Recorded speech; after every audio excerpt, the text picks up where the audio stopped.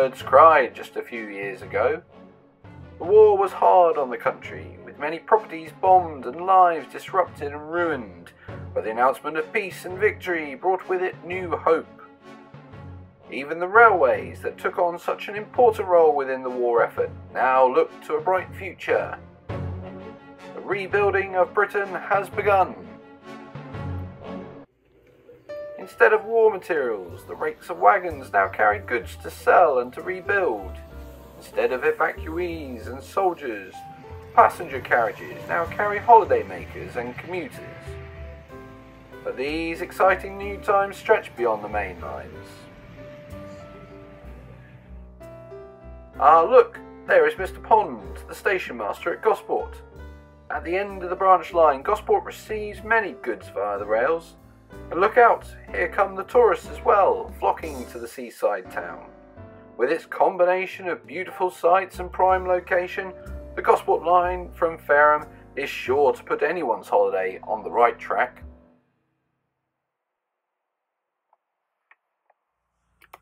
Well, welcome to another episode of Gosport Junction. Um, I'm doing this video because, uh, to be honest, in the last uh, couple of months, I've been feeling really keen to get back into the layout um, and, uh, and and Gosport Junction and all my ideas that I had uh, that have developed over the years. And, and, I was just looking back the other day to see when was the last time I did a, a, a video for Gosport Junction, and it turns out it's actually November 2017, and we're currently uh, just coming up to the end of May 2021. So four years, nearly, about three and a half years have passed. Um, and my enthusiasm for the layout has still, uh, is very much there. Um, so I wanted to make this video to uh, thank all those people who have recently liked my Facebook page, Gosport Junction. It's been great to uh, have the support. It's really filled me with enthusiasm that what I'm doing might be of interest to somebody. Um, and it's also really um, encouraged me to actually make more time to get stuff done for the layout so that one day I can actually have the layout that I want. Now, since 2017, lots has happened. We now have our own place, sort of. We're renting with my sister and my nephew, which is not the worst thing in the world. But in terms of space, it does mean that we haven't got, got as much space as we'd like. And finding room for a layout is near on impossible. Um, we've also had a, a lovely daughter born uh, this year, this last year, um, which uh, with with the pandemic as well has been uh, crazy.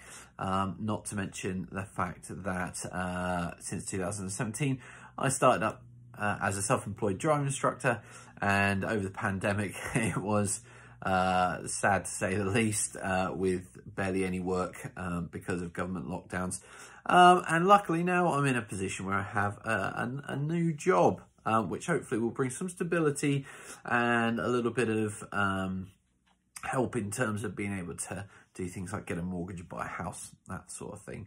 So lots of change, uh, but uh, that has then brought um, change for the layout. Now, last summer, I decided, um, and you would have seen if you were on my Facebook page, that I decided to go ahead and build a layout. Um, it was going to be a very simple five foot by one and a half foot board.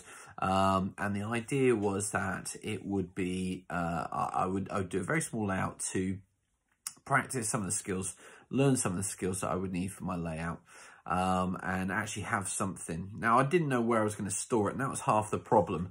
Um, the other half of the problem was that life itself got rather interesting uh, with just a couple of months later my daughter being born 15 weeks premature. So it got very um, exciting and, and ultimately having put the basic frame together um, and having cut the baseboard itself, um, I didn't get any further than that.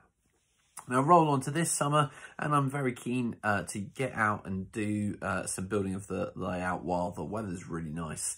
Um, and it made me think, what do I really want to do with this layout? Do I want to do the, the Lee-on-Solent terminus uh, station, which I had considered, um, or do I actually want to uh, crack on with the layout that I really want? Um, and I, I think the problem was, in my mind, was I don't I didn't want to uh, to do a layout uh, that I one day may well just get rid of because I didn't want that. That was not the layout I had in mind when I when I picked up this hobby many years ago.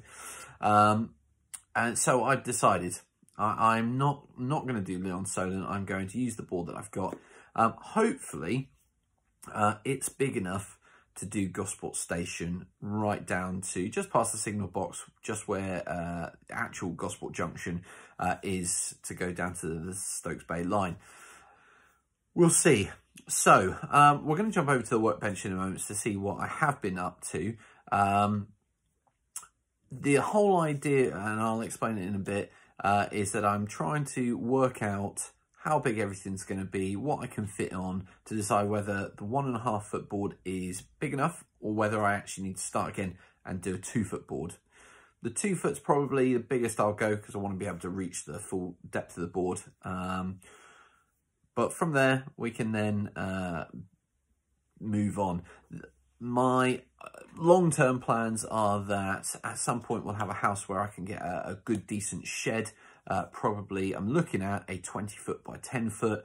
Um, that sounds like that's the sort of size that would um, allow me two 20 foot lengths down either side of the shed and then uh, across the back where it would be 10 foot, but of course you've got the corners meeting the other boards. So realistically, you're probably looking at about a six foot uh, middle section there. Um, so that's the plan. Let's jump over the workbench and we'll talk about it more. Okay, and welcome to the workbench. So, what have I been up to over the last few years, I guess?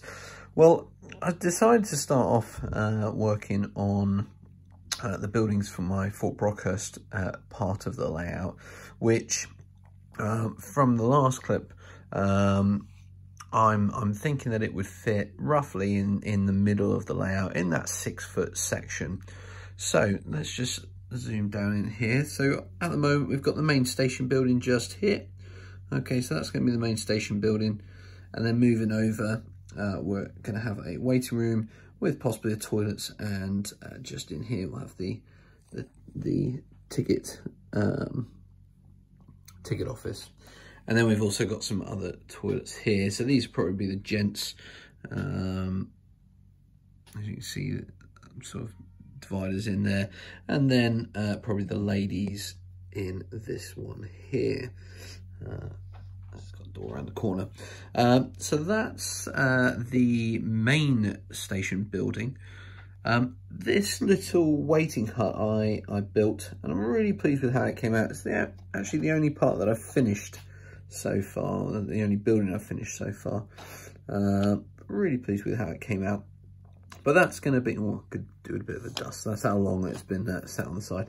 Uh, but yeah, so this is the waiting hut, and this will be on the, uh, must be the up, uh, upside of the station, uh, heading away from Gosport Station. Um, so that's going to be on one side station, uh, main station building on the other. Now, a little bit further down, heading away from Gosport, there is uh, a little line side building, cabin, hut, um, which looks very much like this. Uh, small door, small window on the front, small window on the back. Now, when I um, put a little figure next to uh, next to this, if I can get in there without completely. I got the impression very quickly that this was probably a bit small. Um, so, had a rethink, built another scale model, and I think this one, this card mock-up is probably a little bit better in terms of scale. Might still be a bit big, actually, uh, looking at that. So, I've got to have a think about which one's probably going to work. But uh, in terms of scale, uh, this guy fits through this door better than he fit through uh, this other door here. So something to consider uh, with the building. And that's why I'm, one of the reasons I'm doing these little card mock-ups. Um, when I built Brockhurst, uh, the main station building for Brockhurst uh, station, um, I used a Cereal Packet and made a mock-up of it uh, from there. Learned quite a lot through that. Um, with these, I've decided to use something, the, the, mounting card, which is a little bit thicker and a little bit more sturdier. Um, as it's on the workbench quite a bit, it gets knocked uh, accidentally, um, and this stuff sort of uh, doesn't doesn't break as quickly. Now, on the other end of Fort Brockhurst Station uh, building, there should be, uh, sorry for get my hands in the way there, uh, there should be a signal box. And so I've created a card mock-up once again. And I quite like this, except for I think it might be a bit too big. Um, it, it should sort of sit flush with the front of the station building, like so, but it shouldn't cover the front door of the station building, which is one of the issues I've got there. So, with my little man next to the card mock-up, it looks about the right size, but I think what I'm going to need to do is maybe do one that has is, a little bit um, less wide, uh, so the width of it is is narrower, and see if that looks right, um, and maybe maybe just make it a little bit smaller. So this one I think I've made too big and this one I think I made too small. But um, we'll have a play around with it and see what happens. Um, so that's Fort Brockhurst Station. Uh, there's uh, other than the signal box, well, I've got to finish off the main building, put the roofs on, and then finish up the details like the guttering, uh, bits and pieces like that. Um, I have no floor on my building so that um, when it comes to the time putting on the layout, I can put uh, some lights up. Um, I'm going to have to learn how to do all that stuff, but uh, that's the plan, is to light the building. Um, also need to put a little uh, shelter sort of about, uh, canopy over the front door, uh, which is there in, in reality. Um, this is based on a, on a real station, Fort Brockhurst Station. Um, so that's where I've got the inspiration from. I've got lots of pictures on my Facebook page as well, so check those out. Uh, the waiting hut on the other side is done, and then I need to do this little um, trackside hut, and uh, I need to do the signal box. So I've got a bit of work to do there. Um, there is also a siding, um, it's called Admiralty siding, with a small covering for, for goods to be dropped off under, uh, which I'll, I'll need to make, but that should be fairly simple compared to these builds. So I'm happy with that.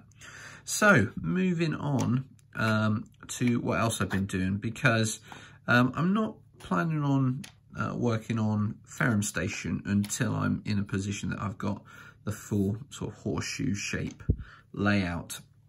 Um, so I thought I would start on Gosport Station. Now, Gosport Station is rather impressive uh, with 14 pillars along its sort of uh, colonnade. Um, I think that's the word anyway. Um, and the front of it's quite impressive as well. I don't actually have a picture to hand, but um, it, it is very impressive. Now, um, I decided to start by doing a card mock-up of the front, and this is how it turned out.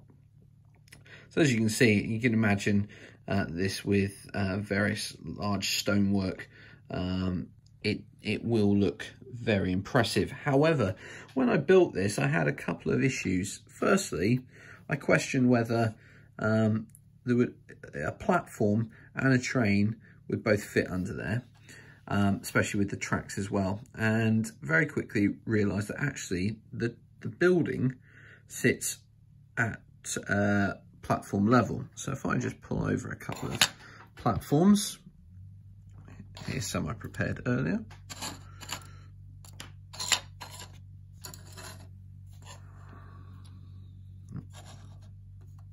Okay, so it should sit um, something like that, but basically I think that will give me enough space for trains to get underneath uh, with track and I will have to just double check that, but I think that's about right. However, when I put my little chappy next to the one of the, the columns, I realised that my attempt to make the sort of the centre of the arch twice the height of a six foot man, I realised I hadn't achieved that. I'd got my measurements all wrong. So that meant I needed to uh, have another go. So in came my second attempt.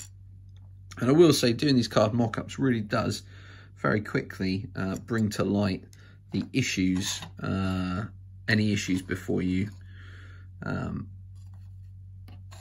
get too far down the road. So this is the new one, um, quite a bit bigger. And if we take our chappy again, and we just, oh, he's a bit drunk. If we put him against the pillar, you can see that arch is much better in terms of the scale. And it gives a much more sort of grand appearance. And we're already starting to see that this will look like a very impressive um, station building. Now, as I said earlier, it has these 14 pillars uh, that will run essentially from the corner of this building all the way down to essentially another corner that looks just like this. The main station building then sits uh, inside the, uh, I think it's about the two arches wide and it goes all the way down. And then this piece here let's see if i can get yeah this piece here then sits on the platform helping to support the roof. Um, and uh, yeah then spans over where the tracks will be to uh, basically the same piece but on the other side in reverse on the other side um, with the goods uh, platform and shed on the other side. So it's quite a quite a process and it's going to, I think going to be very big probably somewhere between a, a, foot and a foot and a half long. Um, so I'm really impressed with how far we're getting with that so far. Um, now I have started working on the uh, the rest of the station building and what I've done is I've drawn a design for the pillars. Now I plan to use some six millimeter uh, round rod from Plastistrut. As you can see, £5.20 for five there. But I think I'm going to have enough lengths to do all 14 pillars. Um, each pillar, I believe, uh, is measuring 22 millimeters in height with a five millimeter plinth underneath it. Um, and I decided to do a card version to stick onto uh, the part I've already done um, to get an idea of the size of it. And, and again, I think as I said earlier, the whole purpose of um, doing these card mock-ups is to see if the board is big enough for what I want to do. And if it's not, then I'll need to do a two foot board instead of a one and a half foot board. So here, what I'm doing is I'm cutting out two, uh, two um, identical sets. So I'll be able to double them up, get the thickness um, uh, to give me an idea roughly.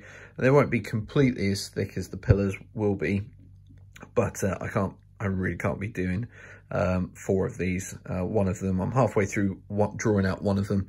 I've still got the other to do, and then I've got to cut them all out. It's, it's a little bit tedious, but um, it'd be well worth it in the end, especially when I sort of see the, the grandeur of the station building uh, sat before me.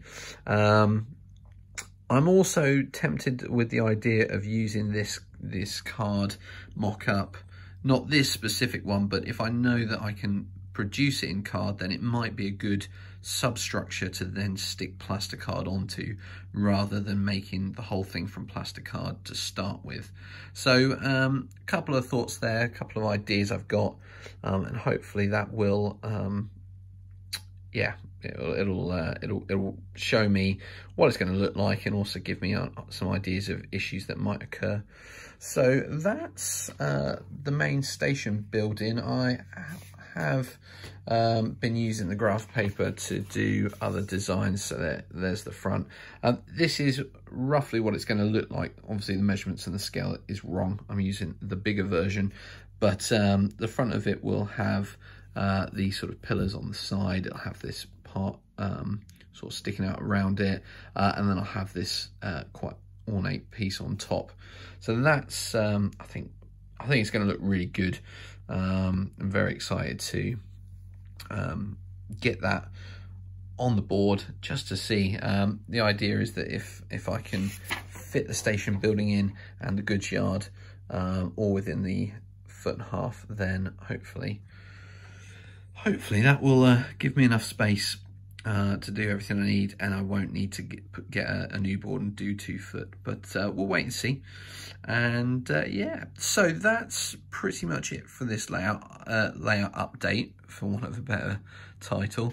I will be um, doing more videos in the future, um, and hopefully, uh, and until I can actually uh, get the board up and start putting it together and, and building buildings, I think it's probably going to be just updates on uh, the buildings like these um, and card mock-ups and things like that. Hopefully in the next video, I, I was hoping to do it for today's video, but unfortunately I haven't had enough time to get all the card mock-ups finished um, and get the board out. But hopefully in the next one, I'll have all the card mock-ups done for all the buildings I want. And then I can put them on the board with the little bit of track that I've got and uh, hopefully give you guys an idea of roughly what the station board is going to look like. Um, long term, uh, the five foot board, which will be Gosport Station, will hopefully be one of four boards to run the whole 20 foot length. Um, and in each five foot board, my plan is to um, sort of do uh, a particular element of the the branch line uh, that I'm model I'm basing it on, which is the Gosport branch line. Uh, so I'll be doing Gosport Junction. I'll be doing the Laura uh, Laura Ashley wallpaper factory that used to be there, along with the Lees Lane uh, crossing with the signal box. I also want to do the Ann's Hill Bridge um, leading up to Fort Brockhurst Station. And then from there with the Admiralty siding, I'll be then moving uh, on an incline up to Fareham Station, which will sit a little bit higher, be the highest point on the board. Um, I'm also hoping from Fareham um, to branch out, so I'll have a viaduct, uh, small viaduct um, going behind the back scene, um, which will then have a it'll then connect to a, a runaround loop so it can come back in through Fareham, uh, but also uh, run down to what will be a sort of a very small station, um, which will take the well, well, the idea is that it will represent Eastleigh Station um, just next to Eastleigh Works, which will be a fiddle yard on on the main layout so that I don't waste any space um, and it will be scenic uh, but the track will run around behind the, uh, the, the yard essentially so that I can sort of create a loop. But um, anyway, that's that for today. Um, thank you ever so much to everybody who's liked my Facebook page and anybody who subscribes to the channel. If you want to keep following along, uh, please do hit the subscribe button. I appreciate it. I think I've started uh, this sort of next section of uh, of the layout's history uh, with six subscribers. So we'll see how long uh, it takes to get another one and make it seven. Um, thanks very much to uh, several people who've, who've, given me support over the last few months in terms of uh, ideas for the layout and um, you know, moving forward in terms of techniques and stuff. Um, Stephen at Elheim, uh, no, Elvenholm ha has been fantastic. Um, when I've reached out to him, he's been really good giving tips and advice. Um, and also, uh, is it Michael at Chandwell has been fantastic, very inspirational. Um, and I've also enjoyed uh, watching um, the engaged layout of Exhaven uh, Harbour, which uh, I think gave me the inspiration to do uh, to aim for a 20 foot by 10 foot layout. Um, so yeah, anyway, I'm going to cut it there because uh, this is uh, rolling on a bit. Take care, stay safe, and we'll speak to you soon.